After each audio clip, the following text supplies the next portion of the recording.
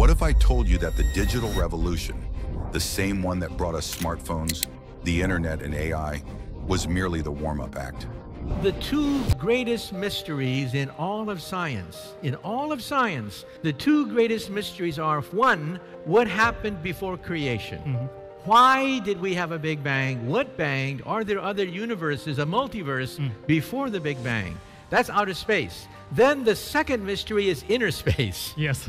What goes on behind your eyeballs? We have 100 billion neurons in your brain, as many as stars in the Milky Way galaxy. Each neuron is connected to 10,000 other neurons.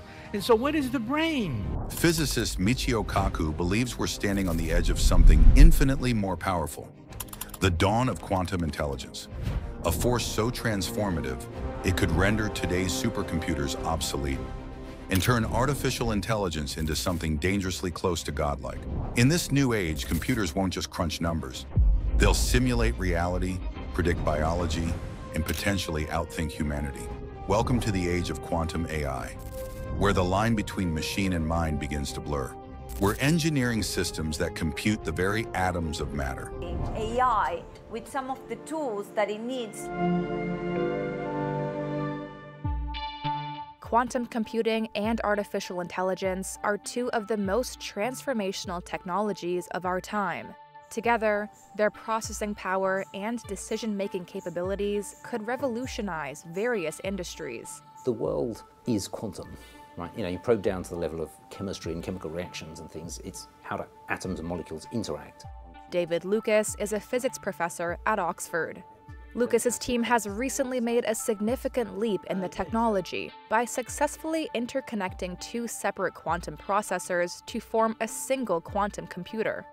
By joining small quantum devices, they've enabled computations to be distributed across the network, theoretically without any limit to the number of processors that could be involved. That could potentially crack the technology's scalability problem, according to study lead Dougal Main. So building a large quantum computer is very technically challenging. And what we showed that you could do is you could split a large, one of these large quantum computers up into several smaller modules and interconnect them using these uh, optical fiber links. Quantum computers operate on qubits, quantum bits that exist in a state of superposition, both zero and one at the same time. They also exploit entanglement, meaning two particles can mirror each other's state, even if separated by galaxies. It's the stuff of science fiction, except it's already real. Governments know it. Agencies like the CIA, NSA, and even China's surveillance state are pouring resources into this arms race, where the battlefield isn't steel and gunpowder, it's information itself. Quantum supremacy isn't a theoretical goal anymore. It's a finish line we're already sprinting toward. Why? Because whoever masters quantum computing will rewrite the rules of security, economics, warfare, and medicine. We've gone through three major computing stages. First was the analog era, Mechanical computers made of gears and pulleys, like the ancient Antikythera mechanism or Babbage's difference engine. Then came the digital age led by Alan Turing, with computers that function using binary code, ones and zeros running on silicon transistors. But transistors have physical limits. That's where the late Richard Feynman came in. He asked the big question, what happens when a transistor is the size of an atom? The answer, you enter the quantum domain, where reality itself behaves unpredictably. Think of Schrodinger's cat, dead and alive at the same time until observed. That paradox? It's the foundation of how quantum computers work. They compute not in one reality, but in many, simultaneously. They don't simulate possibilities, they live in them, meaning an operation in one region might instantaneously affect another. Communication without time delay, computation without limits. The concern isn't just about cryptographic vulnerability anymore.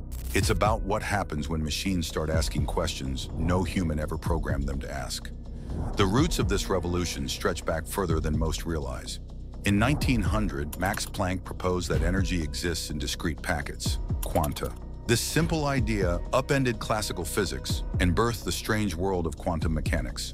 Later, Heisenberg's uncertainty principle and the EPR paradox proposed by Einstein Podolsky, and Rosen exposed the non-local, unpredictable nature of the subatomic world.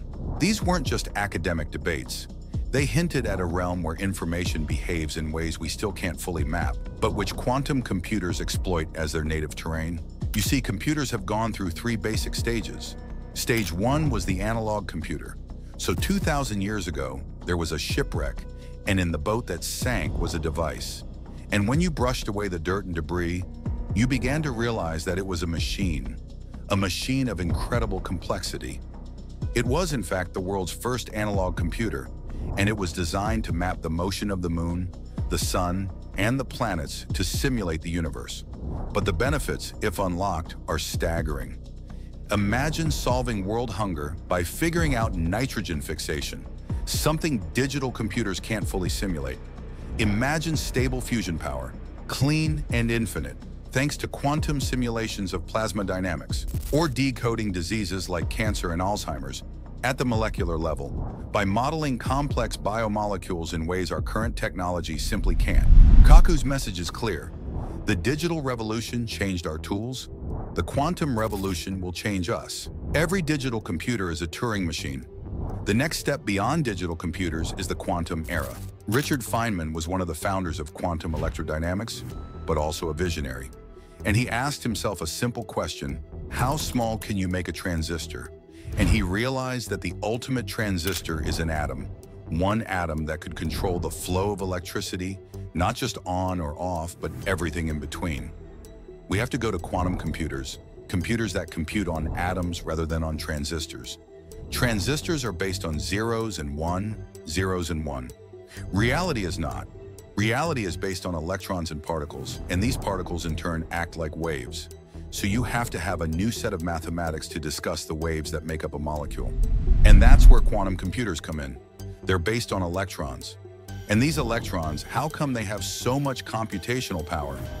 Because they could be in two places at the same time. That's what gives quantum computers their power. They compute not just one universe, but an infinite number of parallel universes. At the fundamental level, quantum mechanics can be reduced down to a cat, Schrodinger's cat. Let's take a box. In the box, you put a cat. And the question is, is the cat dead or alive? Well, until you open the box, you don't know. It is alive and dead simultaneously. It's in a superposition of two states. In other words, the universe has split in half. In one half, the cat is alive. In the other universe, the cat is dead. That's the basis of quantum theory, that until you make a measurement, the cat can exist in both states simultaneously in fact, in any number of states simultaneously. The cat could be dead, alive, playing, jumping, sideways, sick, any number of states. Quantum computers compute on parallel universes. That's why they are so powerful. So how much faster is a quantum computer over a digital computer? In principle, infinitely faster. When we talk about digital computers, we can measure their power in terms of bits. For example, spin up, spin down, zeros and one, would constitute one bit.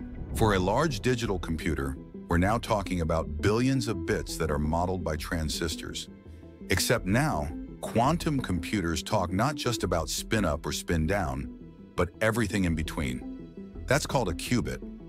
One qubit represents all the possibilities of an object spinning between up and down. Thousands of qubits can now be modeled with the latest generation of quantum computers. Eventually, we hope to hit a million. And so we're talking about exceeding the power of ordinary digital computers. That's called quantum supremacy. It is the point at which a quantum computer can outrace and outperform a digital computer on a certain task. We passed that several years ago, but we want a machine that can exceed the power of any digital computer. We're not there yet, but we're very close to it. The number one problem facing quantum computers is the question of decoherence.